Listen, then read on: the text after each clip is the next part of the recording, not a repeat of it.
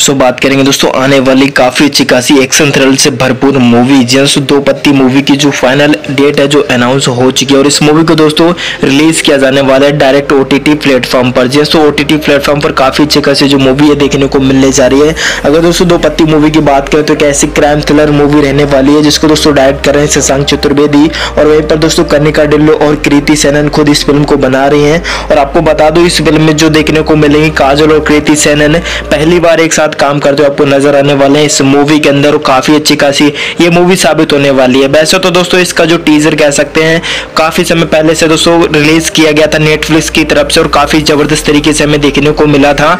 और काफ़ी जो दर्शक है, तभी से इस मूवी का जो डेट है, कर रहे थे कि कब तक इस मूवी का प्रीमियर किया जाएगा। तो फाइनल दोस्तों, अब इसकी डेट है कंफर्म हो चुकी और डेट वाली जो अनाउंसमेंट है, वो यहाँ पर कर दी गई है।